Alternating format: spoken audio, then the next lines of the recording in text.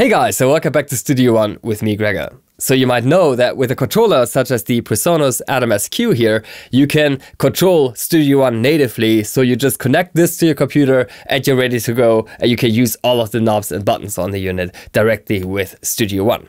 But if you have another MIDI keyboard or controller from another vendor, then it's just as easy to connect that to Studio One and there you can assign all of the available buttons to navigate and to assign functions like play, stop, record, rewind, and things of that nature. I'm gonna walk you through every step of the way. If you're wondering how to set up your MIDI controllers with Studio One, then this is the video for you, and hopefully it's gonna help you out.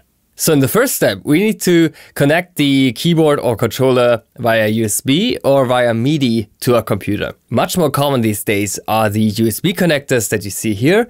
But if you have one of these old school MIDI 5-pin connectors, then I'd recommend you to get one of these MIDI to USB cables that I'm showing you here. If you have a PreSonus USB interface, such as the Studio C series, those often also come with a MIDI input on the back. So you could also hook up your MIDI controller and keyboard this way, and you wouldn't need another cable.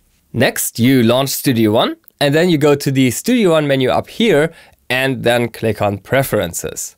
Then you go to External Devices, and you click here where it says Add. Now, if you add a new MIDI keyboard, then you want to add a new keyboard here from the device list. And otherwise, if it's more like a MIDI controller without keys, then you want to add it as a new control surface. The only difference is that a new keyboard would show up in your input list on an instrument track and the control surface wouldn't because you're most likely not playing any notes of your virtual instruments on that. In my case, I'm hooking up a keyboard, so I'm just selecting new keyboard from the add device list here. Now I can type the manufacturer and device name. Of course, that's completely optional. This is just for your own personal reference so that you can still identify this keyboard in your list. I'm just gonna type Roland in this case, A300. That's what I'm currently connecting.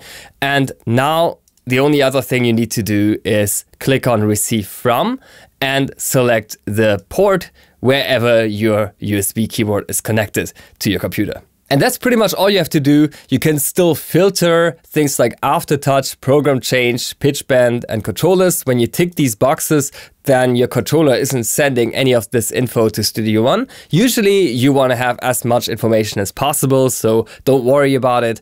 Uh, you can also select to split channels. Now this is more for these big workstation MIDI keyboards. You probably don't have to mess with that. The only other option you might want to consider is default instrument input. When that is engaged, then on every new virtual instrument that you're adding in your song projects, this keyboard and this keyboard only will be assigned as the MIDI input. This makes sense if you're in a big studio and all of the other keyboards are a bit out of reach and everything that you want to record, you play from that central controller, then it makes sense perhaps to have it as the default instrument input. And the only other option you might want to look at is enable MPE, but that only makes sense if you have an MPE enabled controller such as the Roli Seaboard. Okay, that's all we need to do here. We click OK and now we're ready to assign our transport controls to control things like start, stop, record, and so forth from the available buttons. Open up a new Studio One song. You can do that by just clicking new here on the start page. I've already opened one here.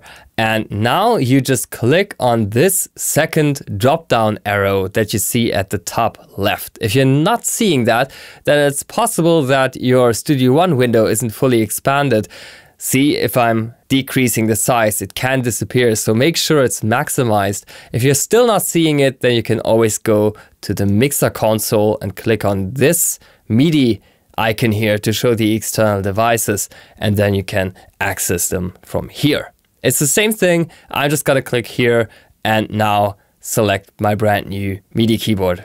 In my case, it's the A300.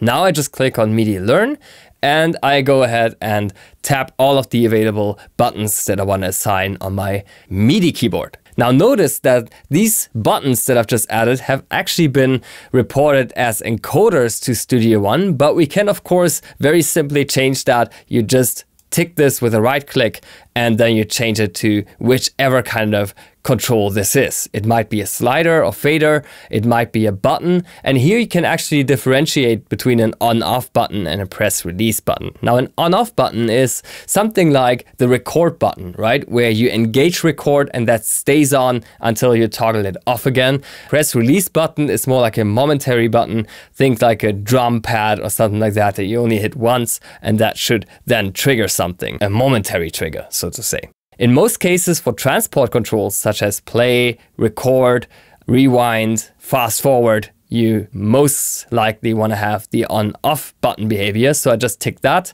and I also tick that on all the other ones that I've added. Now notice that MIDI Learn is still on because otherwise I'm not able to do this. So make sure you just not touch MIDI Learn until you're done. And now all that's left to do is just right click this control and hit assign command. And now I can just search things like toggle start. That would be to stop and start my Studio One project from the same button on my MIDI keyboard. And I can also assign things like record and really any other keyboard shortcut that's available in the program. Macros can also be triggered from these MIDI buttons as well. Once you're done, you just disengage MIDI Learn again, you save the song, and now this is your MIDI configuration for all of your songs going forward. With that, thank you so much for watching. I hope this helps you out when trying to assign controls on your keyboard or controller in Studio One, and thank you for watching.